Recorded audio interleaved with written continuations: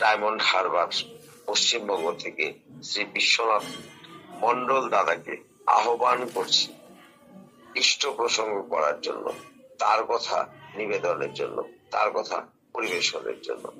শ্রদ্ধেয় শ্রী বিশ্বনাথ মন্ডল দাদা জয়গুরু দাদা। জয় গুরু পরম প্রেমময় শ্রী ঠাকুর আমার পরম আরাধ্যা জগৎ জননী শ্রী বড়মা পরম পূজ্য পাদ শ্রী বর্দা। পরম পূজ্য পাদ ও আচার্য দেবের চরণে আমার ভক্তিপূর্ণ প্রণাম জানাই। উপস্থিত সঞ্চালক মহাশয় এবং ইষ্টপ্রাণ দাদা মায়েরা।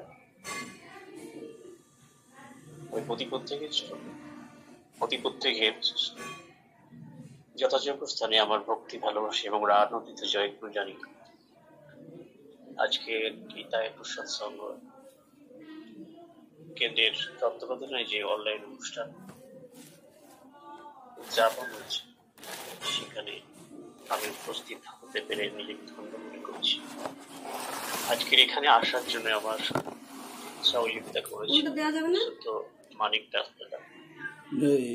আমি মানিক দাস দাদার সর্বাঙ্গীন মঙ্গল প্রার্থনা করি পরম পিতা শ্রী রাধুল চরণে।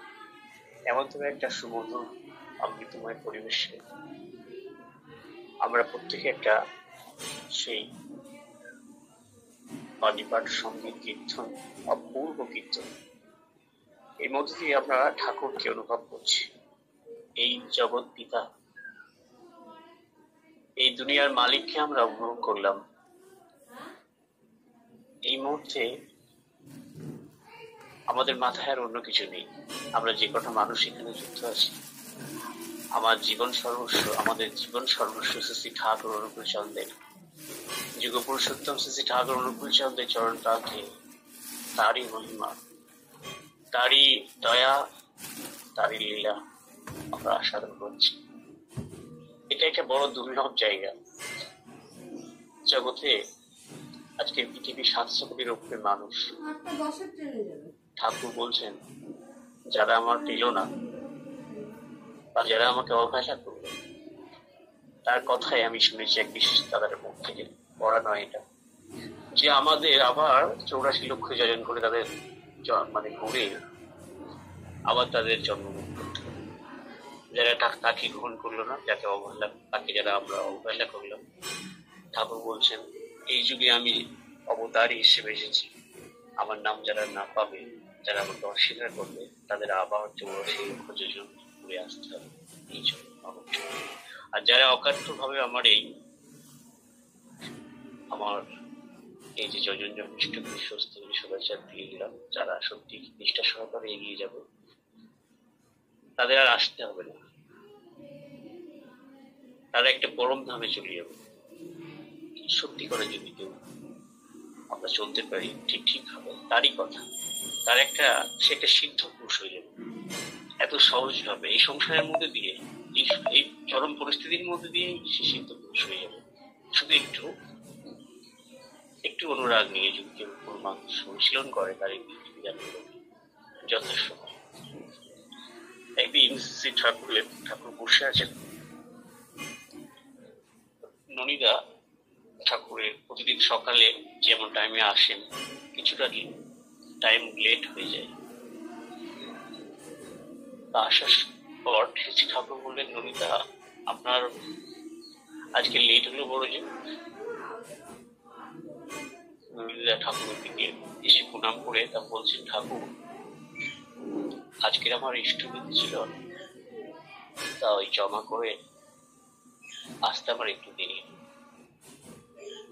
শ্রী ঠাকুর বলছেন, যে ও ননিদা কতদিনের ইষ্টবিধি জমা করলেন? ননিদা বললেন, কেন ঠাকুর, তিরিশ দিনে যেমন করি, সেইভাবে বললেন, না, ঠাকুর বলছেন, না তো। আপনি তো আঠাশ দিনের ইষ্টবিধি জমা করলেন ননিদা বলছি, না ঠাকুর, আমি তো ঠিক ঠিক ভাবে করি আর পুরো একদম গনে গনে আমি তিরিশ দিনের দিন ইষ্টবিধির নিবেদন করি ঠাকুর বলছে, না নমিতা, আপনি আঠাশ দিনের ইষ্টবিধি নিবেদন করেছেন। ননিতা তো বুঝতে পারছি না ব্যাপারটা। ঠাকুরকে বলছে, না ঠাকুর, আমি তো বুঝতে পারছি না। আমি তো তিরিশ দিন ইষ্টবিধি নিবেদন করেছি। ঠাকুর বলছি, না। আপনি দুদিন সূর্য উঠে পরে আপনি করছেন। সেটা ইষ্টভীতি হয়নি, সেটা প্রণামী হয়ে গেছে। ঠাকুরের কথা। তাহলে তিনি যে প্রত্যেকটা কথা বলেছেন, এত সাইন্টিফিক আর কি, এত গভীর তাৎপর্যপূর্ণ, তার একটুখানি ব্যতিক্রম করলে তার ফলটা কোথায় গিয়ে পৌঁছাবে? আর যদি সেটা সঠিক হয়, তার ফলটা কোথায় গিয়ে পৌঁছাবে? এটা তার কথা থেকে তার সঙ্গের মধ্যে দিয়ে আচার্য সঙ্গের মধ্যে আমরা বুঝছি। যে যিনি দুনিয়ার মালিক, তার প্রত্যেকটা কথা, একটা ওয়ার্ডই তার মিস ইউজ হয় না। বিশাল কন্ডিশন থাকে।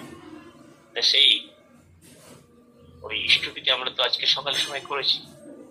এখন করার মধ্যে এরকম একটা ব্যাপার হয়ে গেছে। ব্যাপারটা ননীদের উদ্দেশ্য করে জগৎকে তিনি বললেন যে, ওই দুদিন তুমি সূর্য ওঠার পরে গুলো যে ওটা প্রণাম প্রণামীতে চলে গেছে, ওটা আর ইষ্টভীতি হয়নি তাই এইরকম ইষ্টভীতির মধ্যে আমাদের অসংখ্য ভুল লুকিয়ে আছে। তিরিশ দিনের দিন পাঠানো, ঠিক টাইম করা, অনুরাগের সহিত করা, ভক্তি নিয়ে করা, সুন্দর জায়গা সেটাকে রাখা বিধিমাপিক একটা অর্ঘ নিবেদন করা, এখন অনেক মানুষ একটাই করে যাচ্ছে। আরও আছে, পঁচিশ পয়সা, পঞ্চাশ পয়সারও লোক আছে। আমরা জানি প্রত্যেকে সেটা তারও একটা ব্যাপার আছে। অসংখ্য দিক আছে ইষ্টভীতি তিরিশ দিনের পর পাঠানোর পরে যে দুটো গুরু ভাইকে ভাতৃপর্য দেওয়া যাচ্ছে ভাতৃপর্যের পরে আবার ফুতপুঞ্জ একটু রাখার জন্য। তার বলা আছে। এবং সেটা যেদিন হবে, সেদিন একদম খালি পেটে। যত তাড়াতাড়ি পারা যায়, যেখানে আমার এখন বর্তমান উপজেলা কেন্দ্র আচার্য বলেছে সেটাই বলি সেই জায়গায় পৌঁছে দিয়ে সেই তবে সে জল বহন কোনো কাজ না করে ইষ্টভীতি ঠিক গুছিয়ে তিরিশ দিন দিন, আগের দিন সুন্দর করে রেখে দিয়ে একদম সকালে উঠেই সে যেন সেই বিধিমাফিক ভাবে তিনি যে বলেছেন আচার্যদেব উপজনা কেন্দ্রে দিয়েই তারপর পাতি পুজো দিয়ে পুজো রেখে তারপর সে যখন কত একটা গভীর ব্যথা লুকিয়ে আছে। এই যে ইষ্টবিধির নিষেধটা ঠাকুর, এইভাবে এমন ভাবে ধরে দিয়েছে এই যুগে, মানুষ না তো ছিটকে চলে যেত, কোথায় কিছু থাকতো না। একদম ধুলো হয়ে যেত। সৎসঙ্গীরা, সৎসঙ্গীদের বাইরে যারা আছে, প্রত্যেকে একদম শেষ, কিছু যেটুকু আছে ওটা মুখোশ পড়া ঠাকুর বলছে, সব মুখোশ। এই যত মঠ মন্দির আছে, যত কিছু আছে, এটা কারও ছোট করার ব্যাপার নেই। ঠাকুর বলছে টোটালি মুখোশ। কেন তার যুগপুরুষ উত্তমে চরণতলে? না, এলে টোটাল তার নিজেকে ঠিকভাবে সে রিয়েলাইজ করতে পারবে না, ভাব, ভেবে উঠতে পারবে না, আসল ধর্ম কি? আমার জীবনের সাধনা কি? যুগপুরুষোত্তমই একমাত্র ধ্যেয় উপাস্য, উদ্দেশ্য। যুগপুরুষোত্তমে চরণতলে না আসা পর্যন্ত মানুষের সত্যিকরের অনুরাগ, সত্যিকারের সত্যাকর্ষণী খোরাক পাবে না এবং তার কাছ থেকেও মানুষ পাবে না। এমন একটা ব্যাপার, এমন একটা ধ্রুব সত্য, এমন একটা তার বিধান, বিধি, নিয়ম। যুগপুরুষোত্তম চরণতলে আসতে হবে। তবে সে সঠিক জগতে যা কিছু আছে সঠিকভাবে সে নিতে পারবে। এমন তোর একটা রহস্য। তাই ঠাকুর দেবের নিম- নিমাই ঠাকুর বলে গেছিলেন যে, আমি এই মতো হব আবার দুই অবতার। হরিনাম সংকীর্তনে মাতাব শ্রী ঠাকুর রামকৃষ্ণদেব এবং ঠাকুর অনুকূলচন্দ্র আবার ঠাকুর যাওয়ার সময় ঠাকুর রামকৃষ্ণদেব যাওয়ার সময় বলেছিলেন যে, আমি লীলাপার সত্য সমস্ত জ্ঞান দিয়ে যেতে পারলাম না। আমি আবার যাব, আমি আবার আসব। আমি পদ্মায় ভাগীরথী ধুম মারবো, পদ্মায় সবকিছু আমরা জানি। তাই এই জানার ব্যাপারটা এখন অনেক মানুষ, হাজার হাজার মানুষ, লক্ষ লক্ষ মানুষ এই জায়গায় দাঁড়িয়ে উঠতে পারেনি। এখনও নিমাই ঠাকুর নেই, এই যুগ পুরুষোত্তম মানে তারা সবাই ভাবে। বা এই যুগে মানে কলি যুগের তিনি শ্রেষ্ঠ অবতার। এবার রামকৃষ্ণদেবকে আবার অনেকে যারা এগিয়েছে একটু, একটা ধাপ এগিয়ে গিয়ে রামকৃষ্ণদেবেও পড়ে আছে। রামকৃষ্ণদেব সব, তিনি এই যুগ পুরুষোত্তম। তারপরেই যে তিনি এসেছেন, এখানে এবার অনেক মানুষ বেরিয়ে গেছে বা বেরিয়ে আসছে। আস্তে আস্তে বোধগম্য হচ্ছে, যত আমাদের এই ডিগ্রিবর্ষের কাজগুলো হচ্ছে। আমাদের মধ্যে শুধু গুরু ভাই না, পরিবেশের মধ্যে অসংখ্য অলিখিত মানুষের মধ্যে একটা প্রভাব পড়ছে। তিনি কি? একটা মানুষ আমরা যখন দল করে যাচ্ছি কি কাজ হচ্ছে ডিগ্রি ওয়ার্কসের কাজটা অ্যাকচুয়ালি মানুষের সত্যি করে জায়গায় তৈরি পৌঁছে দিচ্ছে। তো যখন যায়, তখন দেখবেন পরিবেশে অধিকৃত মানুষ যখন কি ব্যাপার কি ব্যাপার, এই জানতে গিয়ে তাদের জানা হয়ে যাচ্ছে যে, ও বাবা ঠাকুর পূর্ণবর্তী নাম্বার নারায়ণ তারা সৎসঙ্গীদের কাছে না এলে তো মানুষ বুঝতে পারবে না। যে কি লীলা তিনি কে, কি ব্যাপার? তিনি এই যুগে এই সব এই যে ব্যাপারগুলো আছে জয়জন ইষ্টপতি কি ব্যাপার? এই রহস্যগুলো কি সাধারণ মানুষ কিছুই জানে না। জয়জন ইষ্টপতি সস্তানি শুনেছে সম্পর্কে কিছুই জানে না। অথচ অনেক বড় মানুষ আছে, টিকি দাঁড়িয়ে আছে, বড় বড় আপনার এডুকেটেড মানুষরা বিভিন্ন আপনার বড় বড় বড় মহারাজ সেজে বসে আছে বা হয়ে আছে, অনেক জ্ঞানী মনে করে সাধারণ মানুষ, অনেক কিছু অথচ কিছু না, ঠাকুর বলছেন, আমাকে যে ইষ্টদেবী করে খায়, এক পয়সা, ঠিক ঠিক হবে। বা একটু সুস্থই আরও বলছেন, যারা সুস্থই একটু পালন করে চলে, ঠাকুর বলছেন একটা ম্যাজিস্ট্রেট পাওয়ার যে একটা ইষ্টবিধি করে দেয়, সে যদি রিক্সা চালক হয়, তার কাছে দাঁড়ানো মুশকিল আছে। কেন যে যুগ পুরুষোত্তমের চরণতলে এসে তার ইষ্টবিধি করে খায়, নিষ্ঠা সহকারে তিরিশ দিনের দিন পাঠিয়ে বা রেগুলার থালকি পাতা খায়, সদাচার পালন করে। তার কাছে দাঁড়ানো মুশকিল আছে। সাধারণ মানুষের যত বড় প্রচুরটা হোক, ঠাকুর বলছেন, তোমার কাছে যে মাল আছে জগতে মানুষের কাছে এই মাল তাদের তো মিলি নাই। ঠাকুর বলছেন, এটাই তোমার অহংকার।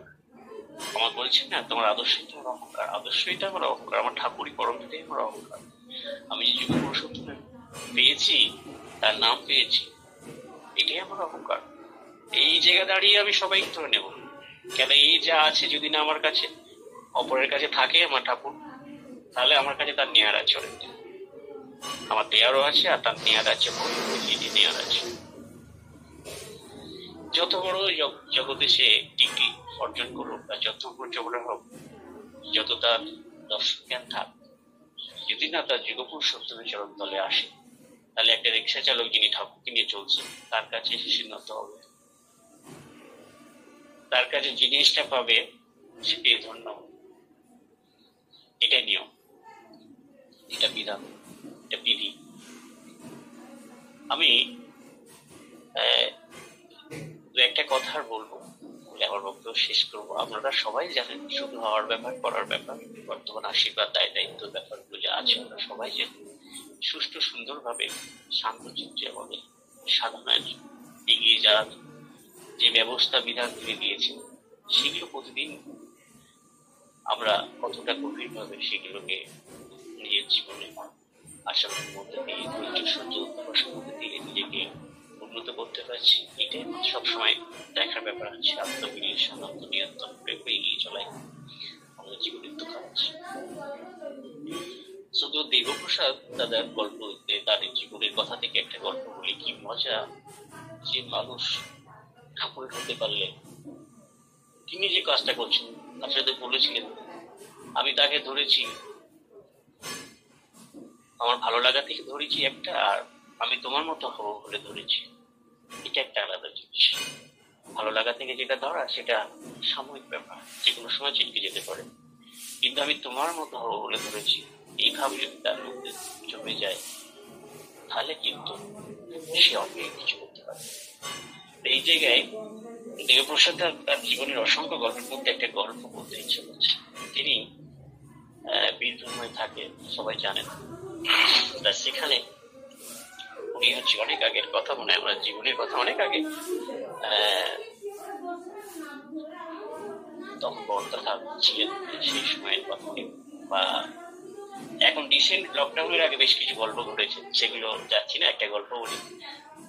উনি এক জায়গা থেকে সৎসঙ্গ করে ফিরছেন আর কি। অনেক কয়েকজন গুরু ভাইদেরকে নিয়ে গেছিলেন এবং সেখান থেকে সৎসঙ্গ করে ফেরার পর ওনার জীবনের গল্প দেখলাম, প্রচুরবার উনি ডাকাতি করে আসছে এরকম বা ডাকাতদের হাতে অনেকবার পড়েছেন মানে কঠিন পরিস্থিতি প্রচুরবার পড়েছেন তা এইরকমই একটা জিনিস, একটা দিনের কথা বলি আপনাদেরকে।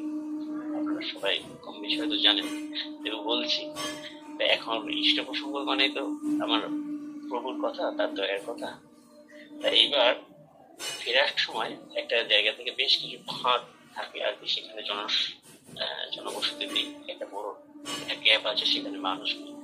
তা ওই গ্যাপে বেশ একটা জঙ্গল পড়ে। উনি আস্তে আস্তে সাইকেলে ছিল সম্ভবত সঙ্গে সঙ্গে বলছে "এই, গাড়ি সাইড করো ভিতরে এসো। মানে সব মুখোশ করে আছে। বেশ কয়েকজন। তাই এনারা যা বলছে চুপচাপ তাদের মুখে তাকিয়ে যে বসাতে ছিল আর কিছু মানুষ ওরা সব আর একটু ভিতরের দিকে নিয়ে গেল জঙ্গলের দিকে। নিয়ে গিয়ে সব গাড়িগুলো স্ট্যান্ড করল করার পর। কি আছে সব পার করে দাও। দেবপ্রসাদ তাকিয়ে বলছে আমাদের কাছে তো কিছু নেই দীক্ষা আছে। দীক্ষা নেবেন? ওরা তাকিয়ে বলছে দীক্ষা নেবেন মানে দীক্ষা? কি দীক্ষা? ঠাকুরের নাম। বলে, ঠাকুরের নাম নিলে কি হয়? ঠাকুরের নাম দীক্ষার পরে আপনার আমরা একটা শতরূপা দিই ঠাকুরের ফটো দিই, একটা বই দিই। এই এই আছে আমাদের আমরা দীক্ষা নেই। আমাদের তো দেওয়ার কিছু নেই কিছু নেই আমাদের কাছে। আর দেবপ্রসাদ ওদের দিকে কি ওইটাই বারবার বলছে। তখন দীক্ষা নিয়ে কি হয়? দীক্ষা নিলে কি হবে? এটা তো একটা প্রশ্ন এসে গেছে দীক্ষা নিলে সৎভাবে বাঁচা যায়। আপনারা যেভাবে পালিয়ে পালিয়ে নিজেদের কাছ থেকে নিজেরা পালিয়ে পালিয়ে ঘুরছেন, সবার আড়ালে সেটা আর ঘুরতে হবে না। সসম্মানে সসম্ভবে, সম্মানে, সবার সামনে মাথা উঁচু করে বাঁচতে পারবেন দীক্ষা নিলে এইভাবে চলে যায় মহানন্দে থাকা যায়, পরম পিতার দয়া পাওয়া যায়। এইভাবে উনি কয়েক মিনিট ঠাকুরের মানুষ আর কি, তিনি তার কথা শোনার পর ওরা বলছে ওদের মধ্যে একটা পরিবর্তন এসে গেল। ওই সময় একটা চরম পরিবর্তন ঘটে গেল। তখন এবার বলছে, কি কাজে নেওয়া যাক? জঙ্গলের মধ্যে এবার কি করে কি হবে? সেইরকম একটা ব্যবস্থা করে একটা গাছের গায়ে তিনি সেভাবে ঠাকুরের একটা আসন তৈরি করে ওদেরকে নিয়ে ওই আবছা আলোর মধ্যে দিয়ে ঠাকুরের ওদের কাছে বলল, জল আছে আপনাদের কাছে? বলল হ্যাঁ। বলল, ওই জল, ওই জলই নিয়ে ওদের সব হাতে হাতে দিয়ে তারপরে ঠাকুরের সব দেওয়া হলো। দেওয়ার পর বলছে, আমরা এবার কি করব? বলছি সব কাজ আপনাদের করতে হবে না। আপনাদের কাছে কার কি টাকা আছে একটু আমাকে বলুন। এক দাদা বললেন, আমার কাছে পাঁচ, দশ হাজার টাকা আছে।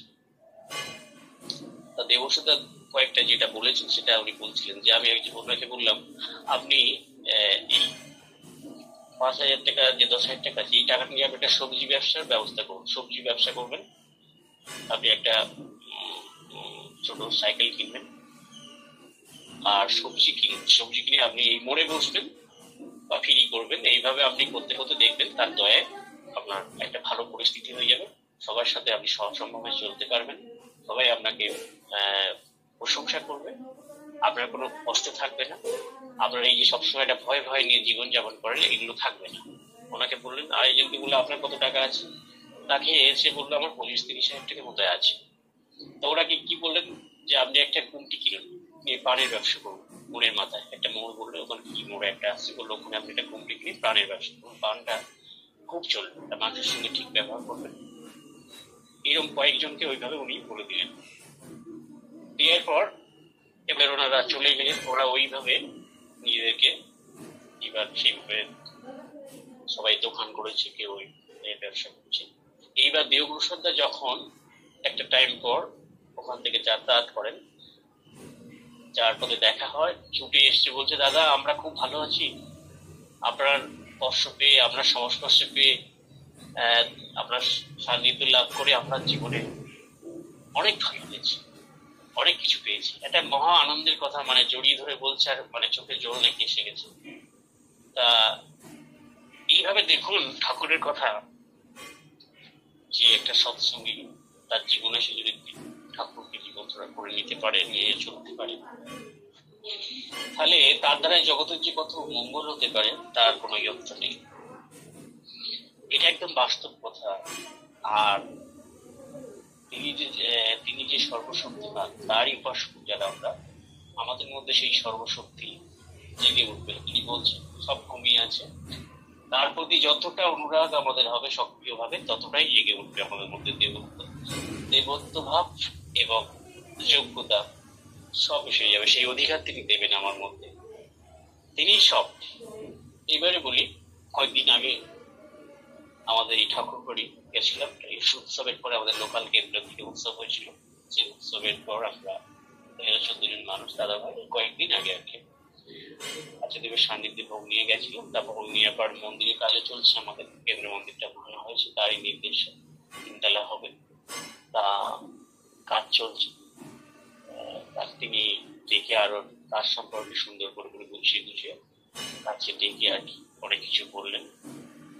মানুষ ভালোবাসার কথা বললেন। বলছে যে এবার ওখান থেকে দাদার কথা থেকে এবার বিভিন্ন বিক্রেতার কাছে গেলাম। সেখানে পরিবেশ তিনি বলতে বলতে বলছেন যে, দেখ, মানুষের শক্তি সম্পর্কে রামকৃষ্ণ ঠাকুর বলেছেন। কথাটা খারাপ লাগলেও এরকম ভাবে বলছে আর কি। বলছেন, মানুষের শক্তি কি জানিস? রামকৃষ্ণ ঠাকুর বলছেন, মানুষ যদি ঘুমিয়ে থাকে, যদি পুকুরে পেচ্ছা করে দিয়ে যায়, মানুষ বুঝতে পারবে না।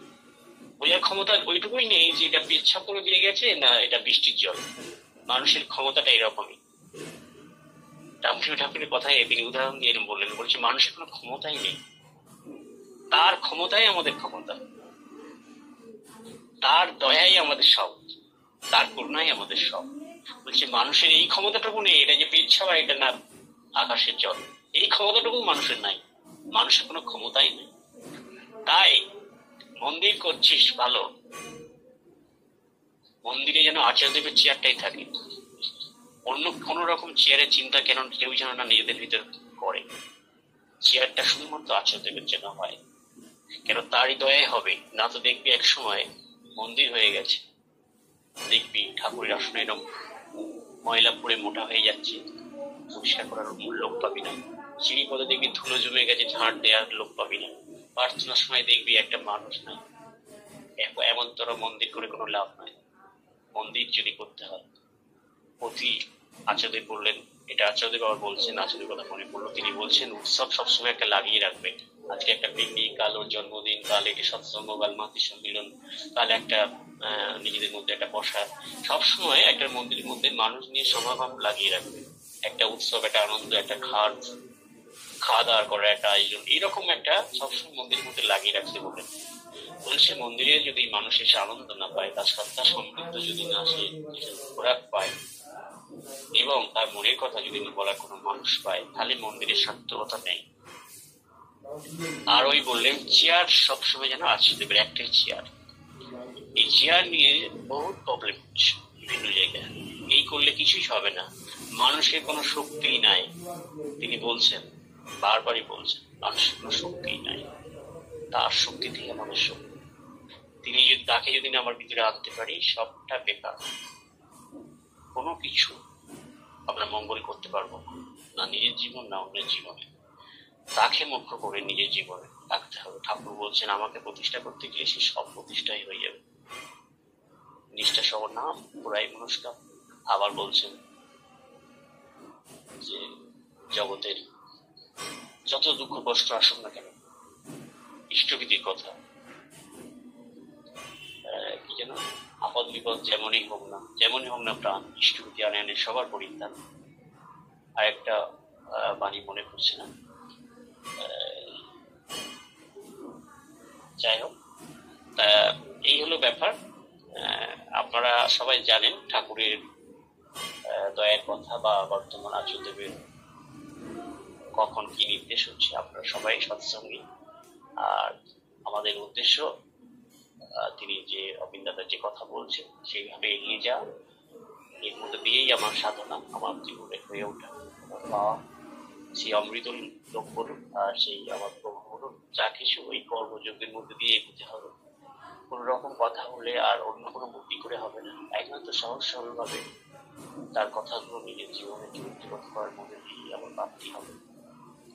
আমরা চলার পথে তার কথাগুলো অনেক সময় ভুলে যাই, তো এটাকে সবসময় মনে রাখতে হবে কখন কোন জায়গায় কি বলেছে। এই জায়গায় আমার ঠাকুর কি বলেছেন বা এই জায়গা হলে আমার ঠাকুর কি করতেন, এইভাবে তিনি আচার্যদের বলছেন। কোন এক পরিস্থিতির মধ্যে, এই পরিস্থিতির মধ্যে দাঁড়িয়ে কি আমার ঠাকুর হলে কি করতেন? এই ভাব নিয়ে তিনি চলতে বলছেন। আর এই যে সৎসঙ্গ আমরা করছি, অনলাইন হোক আর অফলাইন, এই ভাবগুলোকে ধরে রাখার জন্য আমার ভাব। আমার এই ভাবটা ধরে রাখার জন্য সবকিছু এই যে আমরা করছি শুনছি, গান করছি, কেন? অ্যাকচুয়ালি ভাবটাকে ধরে রাখার জন্য, এই সত্যটাকে জাগ্রত রাখার জন্য। এগুলো যদি আমরা করি, তাহলে হারিয়ে যাবে। তাই আমাদের চলার পথে সবসময় এই সঙ্গ, এই যে আপনাদের সান্নিধ্য পেয়েছি এইটা আমার একটা কত সুন্দর চিন্তা হচ্ছে, একটা ভালো একটা ভাব হচ্ছে, একটা ভক্তি যাচ্ছে। এবং প্রত্যেকের মধ্যে এটা আসছে। এইটাকেই সবসময় আমাদের অনুশীলন করতে হবে। তখন হলো সৎ চিন্তা এবং সৎকর্মে ডুবে থাকবে সৎকর্ম তোমার সহায় হবে। আর তোমার চতুর্দিক সৎ হয়ে সকল তোমার সকল সময় তোমাকে রক্ষা করবেই কি করবে? সকলের সর্বাঙ্গীন মঙ্গল প্রার্থনা জানিয়ে আমি আজকে আমার এই ছোট বক্তব্য এখানে রাখলাম। সবাই ভালো থাকবেন। জয় গুরু। সৎ যদি হয় সঙ্গ তোমার ভাব যদি হয় মহান উচ্চ বিশ্বের দ্বারে সাধনা তোমার। হবে না ব্যর্থ, হবে না তুচ্ছ। অত্যন্ত সুন্দর ইষ্ট প্রসঙ্গ করলেন। বাস্তব আলোচনা করলেন। কীভাবে চলতে হবে। শ্রী ঠাকুরের নির্দেশনা তিনি আমাদেরকে দিলেন পথের দিশা। শ্রী ঠাকুরের, ঠাকুর চালিত পথের দিশা, ঠাকুরের কথা তিনি পরিবেশন করলেন শ্রদ্ধেয় শ্রী বিশ্বনাথ মন্ডল দ্বারা পরম প্রেমময় রাতুল জয়ন শ্রদ্ধ শ্রী বিশ্বনাথ মন্ডল দাদার পরিবার এবং পরিবেশের সর্বাঙ্গীন মঙ্গল প্রার্থনা করি। ভালো থাকবেন জয়